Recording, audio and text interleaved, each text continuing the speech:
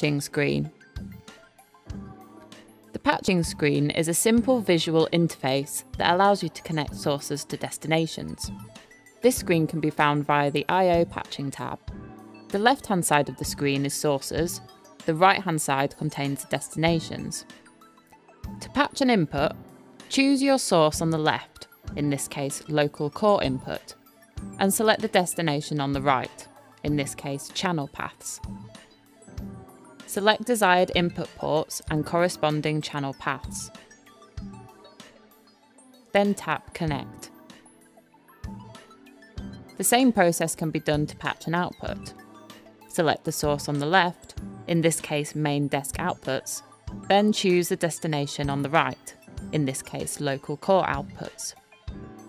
Choose a bus and output port, then tap Connect.